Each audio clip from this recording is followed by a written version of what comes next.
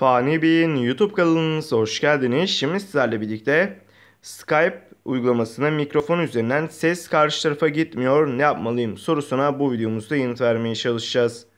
Öncelikle bazı yerleri Skype uygulamasını kullandığınız cihazda kontrol edin.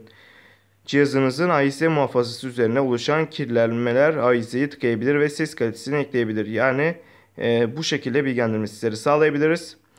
E, yani hoparlörü vesaire mikrofonu mutlaka temizleyin. Telefonun sinyalinin güçlü olup olmadığını kontrol edin. Ses karşı tarafa gitmezse telefonun sinyali yani telefon çekmeyebilir. İnternette problem oluşmuş olabilir.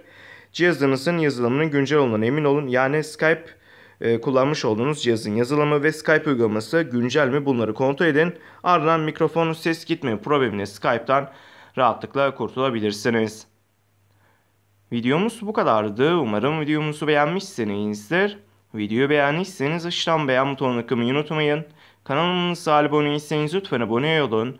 Bir sonraki videomuzda görüşmek üzere. Hoşçakalın. Kendinize iyi bakın.